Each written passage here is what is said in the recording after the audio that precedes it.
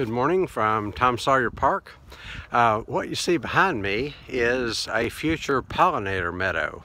Uh, so this is an area of Sawyer Park. I'll put the map in the notes that go with this video, but this is an area of uh, Sawyer Park in uh, the south, the south part, the, the central part of the southern part. it's kind of in the middle and it's kind of a little bit to the south. But it's a meadow area that uh, the park doesn't particularly care to maintain as a mowed area, so that makes it perfect for a pollinator meadow. So what's a pollinator meadow? Well, as you would guess, a pollinator meadow is good for pollinators.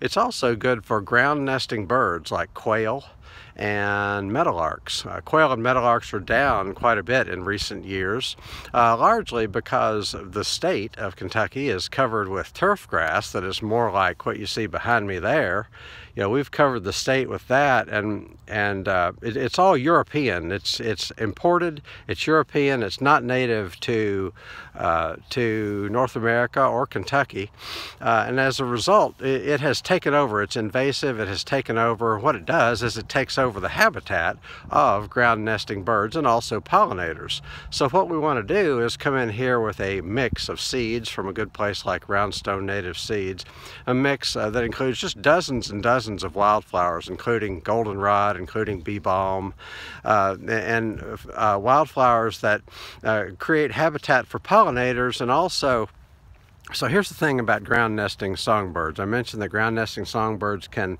uh, can have a habitat among native wildflowers, but not so much uh, in you know European turf grasses. So the, the, way that happens is that ground nesting birds are are wired to scurry. Uh, so they have their nest on the ground. Uh, they have to uh, how do you escape from predators or, or, hide from predators if your nest is on the ground? Well, the way they do that is that they scurry. Uh, they scurry in between the grasses and uh, uh wildflowers such as I mentioned, goldenrod, bee balm, uh, those are such that adult birds and baby birds can scurry uh, on the ground and that's how they escape predators. In fact, even before the chicks are born, the parent will land and scurry. They won't land near the nest because that would tip off predators. So they land and they scurry over to where the eggs are or the baby chicks are before the baby chicks are scurrying around themselves.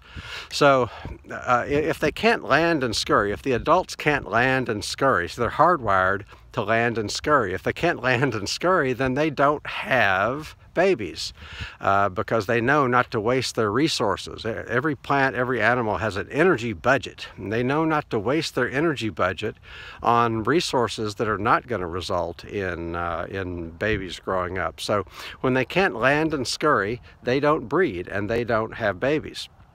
So we needed places for uh, quail and meadowlarks to land and scurry, and the way we do that is to plant a pollinator meadow.